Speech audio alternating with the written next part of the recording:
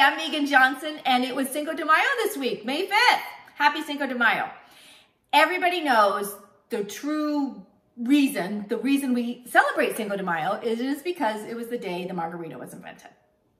No, that's actually, no, it has nothing to do with the day the margarita was invented. And it has nothing to do when guacamole was invented either. In fact, if you do not know the reason for Cinco de Mayo, please look it up. It's not even Mexican Independence Day, which a lot of us think, think that's the reason of Cinco de Mayo. But having a margarita, we really don't even need an excuse to have a margarita. I love margaritas. They're my favorite cocktail. And especially like many of you, I have been uh, sheltering in place now for quite some time, sporting longer hair than I have in quite a while. And I love a margarita that you can make quickly, it tastes good, and you can serve it to your small, intimate group of family that you're sheltering in place with. Now, people are going to argue, margarita purists are going to argue with me that this margarita is cheating. And I would agree, it is not a purist margarita. If we were having a gourmet purist margarita, I get out my shaker, I get out my strainer, I get out my little measuring shot glass, and then I would also chill my glass. I like to drink my margaritas in a martini, something a bartender at a sushi restaurant in Kansas City taught me, of all places. But we don't need any of that because we're gonna do an easy, tasty margarita. And the what I love to use to make an easy, tasty margarita is the Kirkland from Costco. I have no financial interest in Costco. I just love Costco.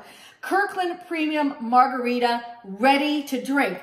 Translation, there's already alcohol in here, okay? Do not make the mistake that my Uncle Nick made when he came over a couple years ago and he thought there was no alcohol and he kept doctoring it like, like there was no alcohol in it yeah, that was not pretty for him. Uh, so here it is. It, it, this is the Kirkland Premium Margarita ready to drink. You don't want just the mix. You want this ready to drink stuff. The beauty is even now you can have you can have this delivered, at least here in Phoenix, Arizona. You can have it delivered from Costco. It'll be here within hours. Here's how this drink works. Here's the beauty. Get out your glass. I actually like this little glass. It says um, the year I was born on it. My girlfriend gave it to me for my birthday this year, 1970. Now, I know a lot of times people will say, you know, cut a lime and use the slice of lime to get the edge of your glass moist so the salt adheres to it.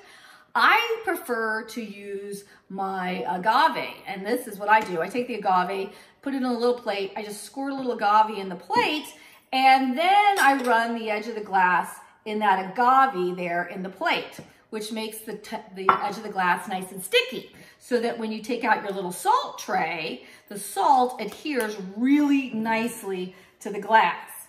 Now, full disclosure, my husband prefers to use the slice of lime trick. He said because the agave on the glass gums up your salt. Um, you know, we can always add more salt. I want lots of salt on my glass. I live in Phoenix, Arizona. We need to have as much salt as possible because it's so hot here. All right, so here's how easy this drink is. Take your ice. I'm not even gonna mix it, okay, because maybe we, you know, I have my little shelter in place, my family here, we're making margaritas. I'm gonna pour my ice right directly into the glass, just directly right into the glass. Take my Kirkland Premium ready to drink margarita, and I'm just gonna pour it right in there. Just pour it in. I don't even have to measure, I'm just pouring it. It's, I'm free pouring. I mean, this is just crazy stuff, free pouring. I free pour my drink. Now this margarita, uh, just as is, it's, eh, it's acceptable. I mean, you know, I wouldn't not drink it. Uh, it's acceptable. But here's what's gonna make it a little bit more special. I take uh, premium tequila. This one is Patron. Premium tequila.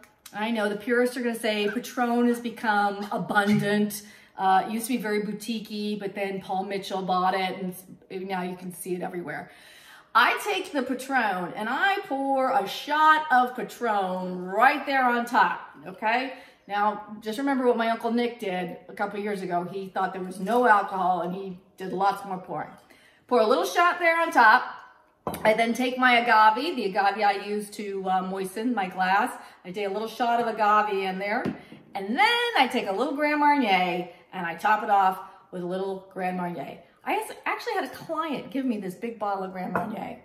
Uh, I don't know how she knew I love this, but she gave me a big old bottle of Grand Marnier. And I had a bartender tell me once that all bartenders love Grand Marnier because they make a bad drink taste good. Here it is. The easy way to make a good tasting party margarita.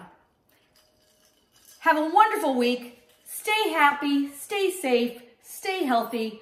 I look forward to eventually seeing everybody face to face or virtually soon. Bye.